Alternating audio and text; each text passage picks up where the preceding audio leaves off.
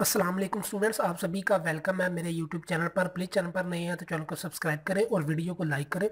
ये वीडियो बहुत ही इंपॉर्टेंट है। एक हिसाब से ये एक गुड गुड न्यूज़ है। तमाम BA BSc ADP MA MSc students के लिए पंजाब यूनिवर्सिटी में एडमिशन लेने वालों के लिए। तो चलें जी, मैं आपको बता देता हूँ। पंजाब यूनिवर्सिटी ने, जैसा कि आपको पता है कि एडमिशन्स की डेट तो पहले जो है, वो उन्होंने इकतीस मई तक जो है, वो एम एम एस सी की सिंगल फ़ीस के साथ और B A B S C A D P A D C की जो है, वो डबल फ़ीस के साथ कर दी हुई है इकतीस मई।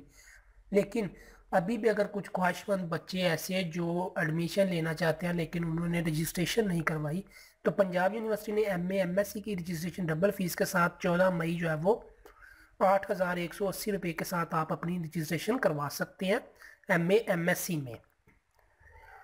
और B A B S C A D P A D C मतलब associate degree in science arts commerce जो है वो 2021 के लिए भी उन्होंने रजिस्ट्रेशन की जो डेट है, वो अब एक्सटेंड कर दिया है। अब लास्ट डेट जो है वो 24 मई है। आप डबल फ़ीस के साथ आठ हज़ार एक सौ अस्सी रुपये के साथ अपनी रजिस्ट्रेशन करवा सकते हैं।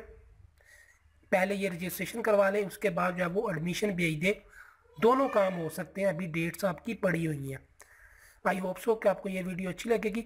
और जो बच्चे अभी रिज़ल्ट का वेट कर रहे हैं M A M S C वाले, उनको मैं बता दूँ, जब आपका जून में रिज़ल्ट अनाउंस किया जाएगा, तब आपको सिंगल फ़ीस के साथ एडमिशन लेने की परमिशन होगी M A M S C में, ठीक है? परेशान नहीं होना आपने।